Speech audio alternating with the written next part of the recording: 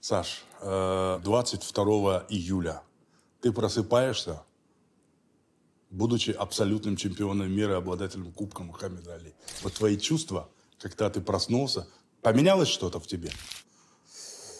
Знаете, что я сразу сделал? Я, во-первых, лег э, где-то в часов 8, наверное, утра или там 7 с чем-то. Ну, я имею в виду, там, наверное, заснул к этому времени. Проснулся там часиков в 10, начало 11 просто так вот, бум, у меня открылись глаза.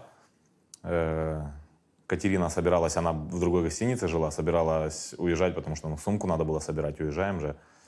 Она там что-то ходила, суетилась. Вот я ни о чем не думал, о том, что я взял молитвослов и начал читать утреннюю молитву.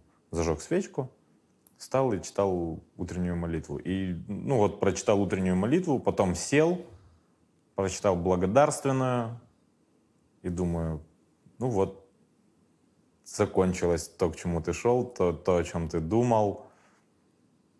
Слава Богу. Ну так, спокойно очень. И сейчас, в принципе, я так же думаю. Такие же ощущения. О самом бое мы еще обязательно поговорим, а, но очень интересна твоя подготовка, которая прошла за семью печатями, никто не знал подробностей. Что ты можешь сейчас рассказать об этом? Сейчас я могу сказать, что я очень благодарен Анатолию Николаевичу Ломаченко за то, что он согласился, или не то, что согласился, а то, что он помог мне сделать то, о чем я думал, о том, о чем я мечтал, даже еще не будучи профессиональным спортсменом. Это вот пояса, абсолютный чемпион мира, а еще и так в совокупности Кубок Мухаммеда Али. Когда, после, когда я ездил в Нью-Йорк э, на поединок Василия, когда он боксировал с Ленаресом, я там с Анатолием Николаевичем разговаривал о том, что единственный, кто может мне помочь подготовиться к этому поединку, это вы, потому что, ну, или я буду это делать сам, или вот с вами. И он сказал, что да, я помогу тебе.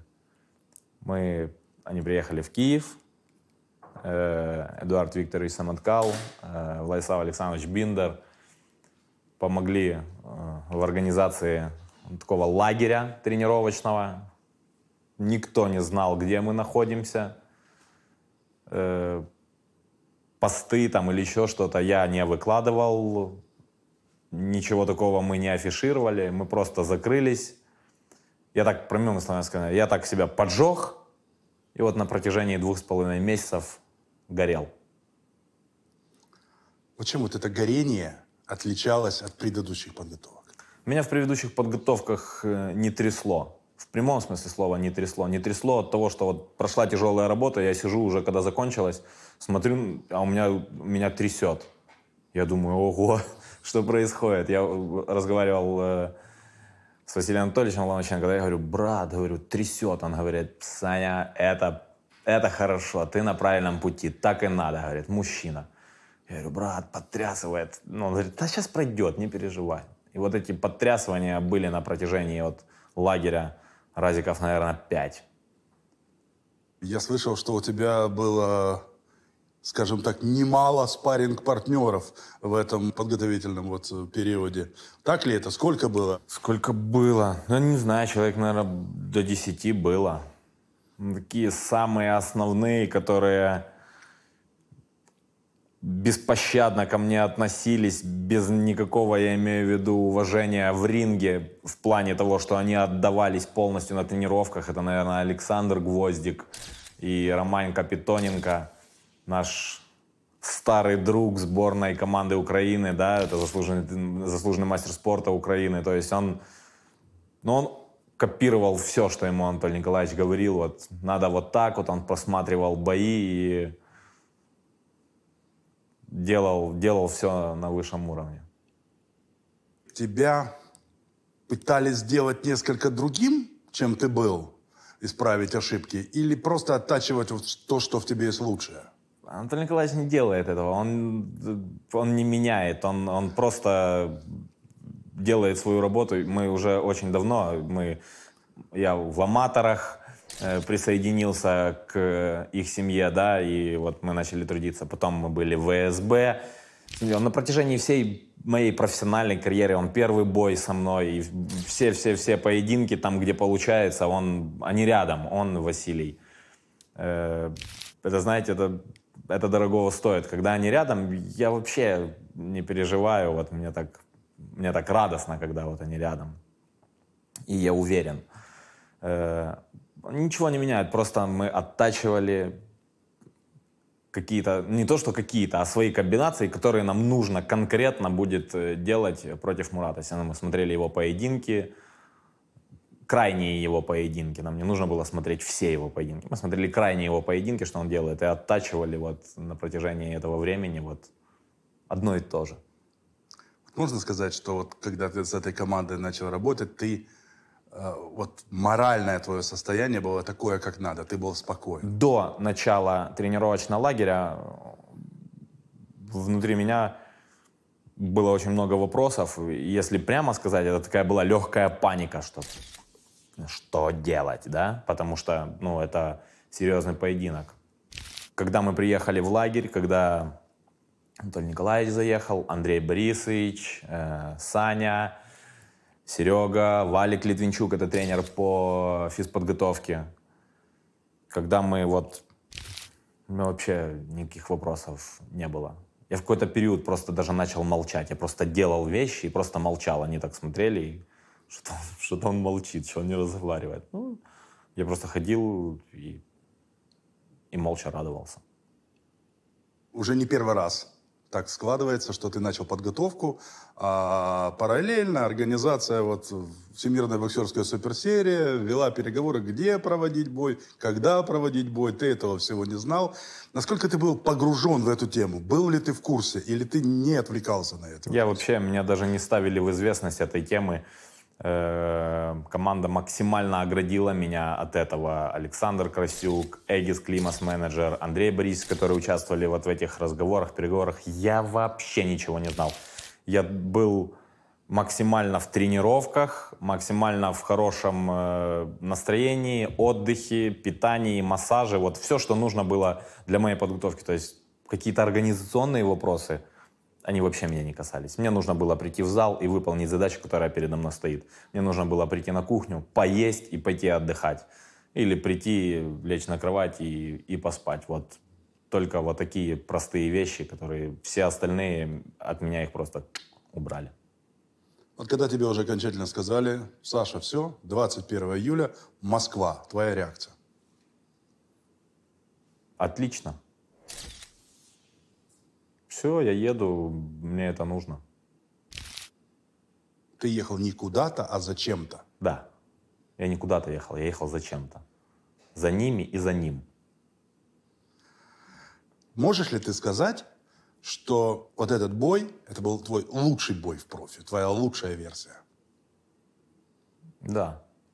На данный момент это была лучшая версия Александра Усика. Я еще не видел э, раскладки там, по количеству нанесенных ударов с твоей стороны, со стороны Мурата, но иногда складывалось э, ощущение, что ты наносишь ударов значительно больше, чем ты это делал в предыдущих поединках. Ты таким количеством серий э, в течение раунда делал. Это действительно так? Вы это нарабатывали э, в тренировочном лагере? Да, что мы работать это, мы колоссально, серийно вот так вот. Надо было, надо было, было пробить атаку, сделать повторную атаку, еще одну повторную атаку и по возможности еще две повторные атаки. Ну, не меньше трех. Если говорить так, со слов Анатолия Николаевича, не меньше трех. Атака, повтор, повтор. Ну и по возможности там уйти еще один повтор. Фактически за весь поединок э, ты не дал э, Мурату Загнать, вот как удав, загнать соперника в угол и там уже решать вопросы. Ты вот настолько передвигался, что как только вы подходили, ты уходил, ты менял углы и так далее, и так далее. Это тоже обсуждали эти моменты? Мы вообще готовились к этому поединку в очень маленьком ринге. Не в таком ринге, в котором боксировали. Ринг был 3 на 3. И в этом ринге мне так тяжело было, если честно. У меня такая паника была в этом ринге. То есть почему? Потому что мне же нужна свобода. А у меня этой свободы не было. И мне нужно было из вот этого маленького кусочка стать свободным, да. Ну, и еще я не имел права находиться возле канатов, потому что Анатолий Николаевич сказал, что нельзя, должна быть середина, то есть вот средина, средина, средина, то есть ты там ушел, сместился, перешагнул средина, ты занимаешь середину, там разогнался чуть-чуть, походил, походил, походил, и знаете, как шире, шире, шире, шире, уже, уже, уже, уже, ну, то есть вот ну, такую, это я задачу, старался выполнять задачу, которую он, Антон Николаевич, передо мной ставит. Ты не помню сейчас в каком раунде, но все-таки пропустил. Четвертый, конец четвертого. Конец четвертого Последние раунда. 10 секунд, если Вот. помню. Удар Мурата Гасиева. Как ты его прочувствовал? Вкл-выкл. Ну, Был выкол все-таки. Вкл-выкл, да. Ну, это знаете как... Знаете, что я больной? Я подумал, о, о чем я вообще подумал в тот момент? О, держу. Ну, типа банку. А потом думаю, ну, наверное, повторять не надо. Ну, то есть это, знаете, такой был, наверное, легкое расслабление, или я не знаю, как это можно бы назвать. Хотя я вроде ну, весь поединок был, ну так, сосредоточен. Ну вот так вот поймал один, да. В четвертом раунде, последние 10 секунд. Тун-тун-тун, они отзвучали и там бам. Потом он кинулся, я его провалил, развернул, чуть-чуть подождал. Все, все честно, все справедливо. Пару раз казалось, что в ринге ты о чем-то говорил с Муратом. Было такое? Да, я разговаривал с ним. О чем? Ну, когда он бил меня ниже пояса, ну, там, в бедро, еще кто-то, что я, я попросил его, говорю, Мурат, зачем ты это делаешь? Ну, не надо этого делать. Ну, он так плечиком пошел и сказал, он говорит, извини. Ну, это, я, думаю, я не думаю, что это было намеренно, да, но, тем не менее, да, я, я с ним разговаривал. Последние раунды. Буквально последний раунд, когда уже все видели, э, что происходит. И вот этот момент, когда ты э, как бы на публику, не знаю, на публику ли ты это играл, так на ножках пританцовывал чуть-чуть. На Мурата ты это пытался действовать? Или просто это такой кураж, кайф был? Не, это внутри, это куражик. Анатолий Николаевич сказал, надо куражик, куражик, чтобы ты поймал куражик. Сашка, выходи, работай, выполняй то, что тебе, ну, то, что надо. Вот. Кайфуй. У тебя были до боя мысли, разговоры в команде, что могут неправильно посчитать? Москва. У нас этих разговоров не было в команде. У нас э, единственные разговоры э, были о том, чтобы ну, быть настолько подготовленным, чтобы даже не дать э, шансов о, о том, чтобы неправильно посчитать. Вот о чем у нас были разговоры. Не- мы, знаете, не, не думали о том, что что же нам нужно сделать для того, чтобы правильно посчитали. Нам нужно просто хорошо подготовиться, и как мой первый тренер Лапин Сергей Юрьевич говорит, быть на две головы выше, чтобы даже не дать э, повода для неправильного подсчет, подсчета. Ну, я так понимаю, задачи, задачи, так скажем, э, к досрочной победе не было. Надо была задача просто Мы выигрывать на каждую 12 минуту, каждый- каждый, раунд. конечно. И Задача выигрывать каждый раунд. Что слышал во время боя? Анатолий Николаевич, Анатолий Николаевич публику, слышал. что кричали, поддержку какую-то, Да, что под- слышал? поддержку, поддержку слышал, когда вот люди болели, кричали. Э, Василия слышал и Анатолия Николаевича слышал. Анатолия Николаевича слышал четко и старался выполнить все. Чтобы он не кричал, чтобы голос не срывал, то есть чтобы спокойно был. Как э, получилось э, обвешаться четырьмя поясами и поднять кубок? Это нелегко? Они помогали, там один даже что не могли подц- подцепить кубок такой тяжеловатый. Знаете, я уже когда закончился поединок, они начали обвешивать поясами. У меня так, я выдохнул, но выдохнул, потому что, ну, действительно так думаю, о, тяжело. Ну, так оно, знаете, как-то так вниз тебя давит. Думаю, ого, ничего себе. Думаю, надо быстренько пофоткаться и отдать всем раздать, чтобы свободно стоять. Ну, выглядит, да, да, как доспехи такие.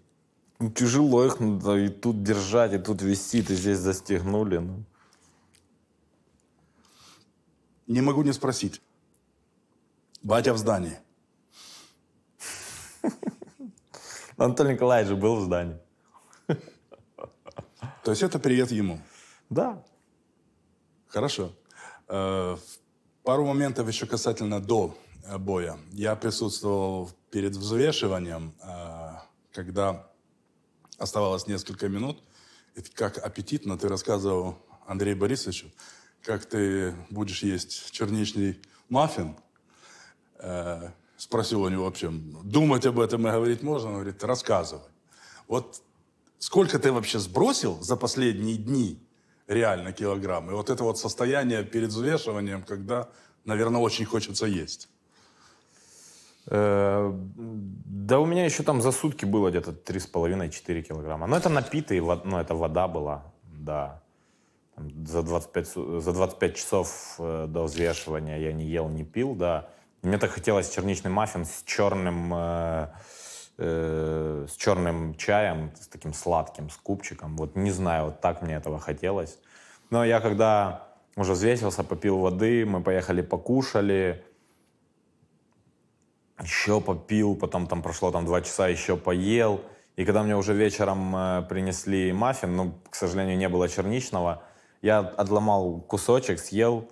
Ну, у меня уже не было того удовольствия, так как я рассказывал. Но если бы я его сразу пробовал, то, наверное, я бы получил такое эстетическое удовольствие от этого вкусненького пирожка. А потом я так уже, знаете, как-то когда я уже поел, когда я уже стейк умолол, там, э, пасту. Так. Какой твой вес был в бою? Я думаю, что где-то около 94-93 с половиной. Как тебя поздравляла семья? Дети, жена, мама? Э, супруга была там, она очень довольна была, она зашла в ринг. Она, знаете, я видел, что она действительно переживает, что она уже тоже устала от, э, от этого вот напряга, потому что об этом ну, разговаривают уже ну, столько, все что-то говорят, вот ты переживаешь, ты не переживаешь, она уже до меня подошла и говорит, так я так устала от этих всех разговоров. То есть видно было, знаете, эмоциональный спад такой.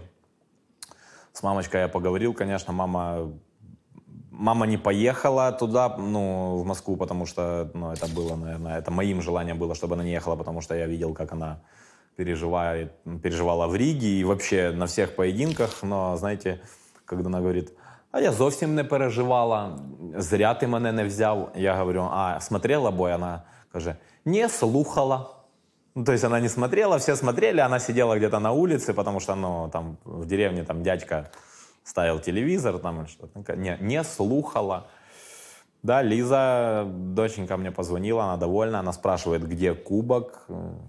А, а пацаны просто хотят меня видеть уже. Им без разницы на какие-то кубки, им нужен папа. Ты на пресс-конференции сказал, что посвящаешь эту победу отцам. Расскажи подробнее. Да, я, я говорил, что я посвящаю эту победу отцам. Э, я очень люблю свою маму, очень ее уважаю, но э, ту роль э, в жизни, которую сыграл мой отец, да, Александр Анатольевич, его уже, его уже нету. Он даже не дождался меня с Олимпиады.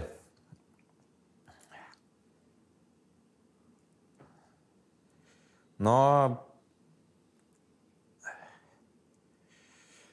он был э, инициатором, чтобы я пошел и занимался этим великим э, видом спорта, он мне говорил, что у тебя получится, что нужно вот нарабатывать то, то. Мне так интересно было все. Я говорю, слушай, ты занимался борьбой, рассказываешь, что надо делать в боксе. Ну, он так молча ничего мне не говорил, ну, потому что мы же типа умные, да, дети, мы все знаем, а, а они старики, они ничего не знают. Сейчас, спустя много лет, когда у меня есть мои дети, Думаю, да, Саня, какой же ты все-таки глупец, что ты тогда, тогда так думал. Он был инициатором того, чтобы я пошел на бокс. Еще один отец, это Лапинский Юрьевич, который взял меня, который научил.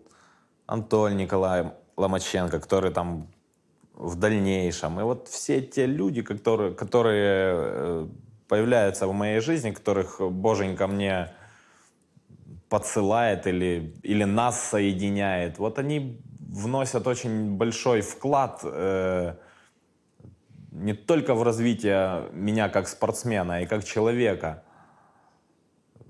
Я общаюсь с ними, я учусь от них. Э, они старше меня значительно, они опытней.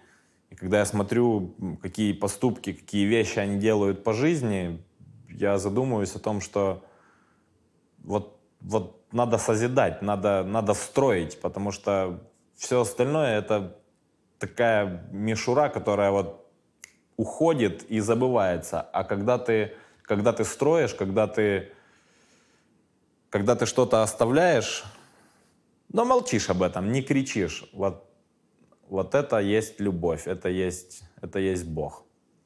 Да, и я посвящаю эту победу отцам.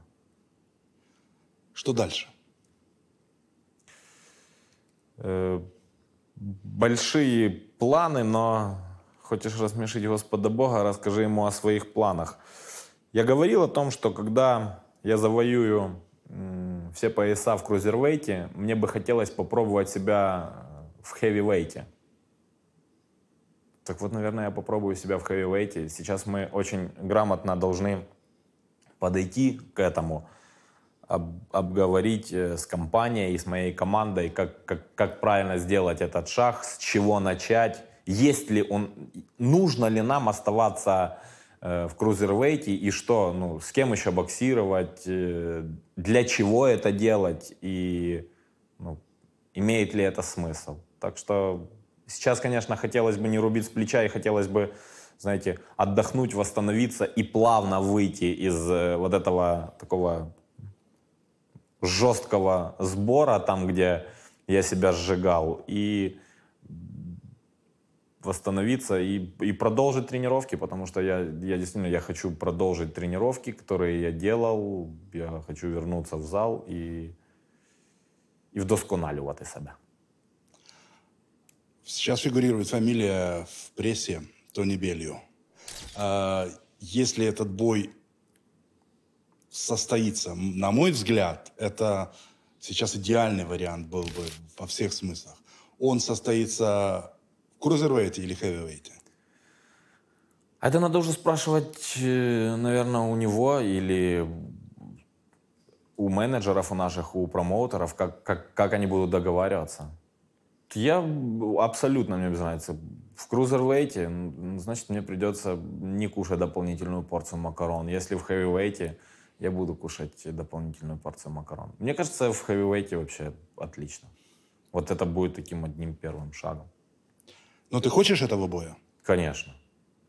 Конечно. Мне, мне, мне хочется этого поединка. Э, Тони очень с уважением высказывался обо мне, и я два поединка, которые он боксировал э, с э, Хэем, я за него, я два поединка топил за него, но в первом, я уже говорил об этом, я топил за него, но мне почему-то были сомнения в его победе. Но он сильный парень и доказал это. А во втором поединке я вот прям вообще у меня никакого не было сомнения, что он победит. И, и плюс, что я еще э, за него топил. Спасибо, удачи тебе в будущем, хорошо отдохнуть. Спасибо. Спасибо.